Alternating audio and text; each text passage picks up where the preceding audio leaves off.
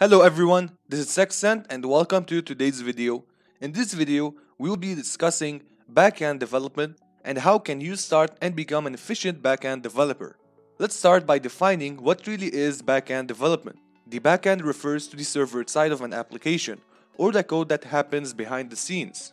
That means it's not viewed by the user.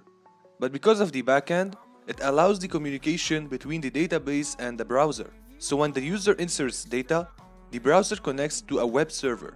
And when this web server receives the user's request, it needs to provide the user with the information needed. What backend developers do is they store the user's data in a database that receives and gives data back to the web server, which will give the user information that will be displayed on the browser.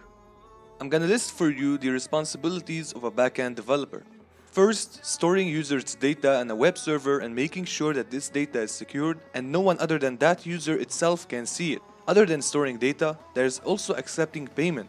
And that is a really crucial part because you need to make sure that you secure the payment. Also, you are responsible of the API or application programming interface, which allows two applications to talk to each other, like what you're doing right now, watching this video displayed by YouTube on the YouTube website. The backend consists of three parts server, application, and database. A server, which is a piece of hardware or software that provides functionalities to the program. Here are some server software Apache, Microsoft Internet Information Service, Lighttpd server. Now you don't have to know all of them, at least one of them. And once you land your first job as a backend developer, you will know what requirements you need. And if you are familiar with other server software, let me know down the comments. Now, once the web server receives information from the user, it sends that information to a web framework, and the framework helps you as a developer to manage data or requests. What web frameworks should you know?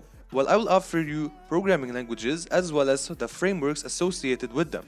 We all know that JavaScript is used on the front end to make websites more interactive, but also used in the back end to update new data and display pop-ups for example. The most popular framework for JavaScript is Node.js and Express.js. Node.js is mostly used. We also have Java, which is faster than JavaScript and can handle more user requests at one go. A framework associated with Java is Spring. We have also Python, it is the most popular language as well as the easiest one to learn.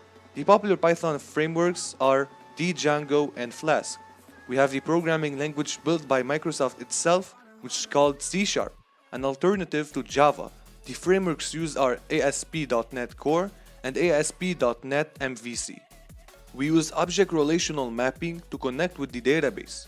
This ORM is responsible of converting data from the database to objects. But usually in the backend, we use structured query language or SQL to manage and receive data. The ORM writes most of the data received to structured queries and send them to the database. But as a backend developer, you need to know how to write your own queries. The most popular language used is MySQL or MySQL, so take some time mastering it.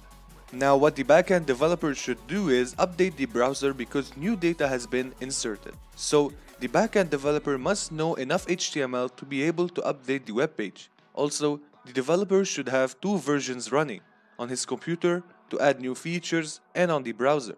That's why we use version control system like Git that helps you manage the source code. So let's wrap it up here. First, user inserts data. Then, browser connects to a web server which must provide the user with information. The web server then sends the user request to a web framework to manage that request, then goes to an ORM that writes structured query code, then sends the data to a database that will manage it and then give the data as an object. After that, the data travels back to the web server and the web server sends it to the browser so it will be displayed for the user. What should you learn? First, you need to know a bit of front-end skills like HTML, CSS, and JavaScript. Then familiarize yourself with server softwares you are interested in or that you'll use working in a particular company. Then learn a framework. If you like Python, go for Django. If you like Java, go for Spring. Actually, once you know a framework, it will be easy to learn another. Then learn a structured query language like MySQL or PostgreSQL. Also, you need to learn a version control system like Git. And that's all you need to know on how to become a backend developer. I hope by now you know all the tools to start your journey as a backend developer. Now some people still don't know the difference between front-end and back-end. Check out this video that will explain everything on how to start as a front-end developer.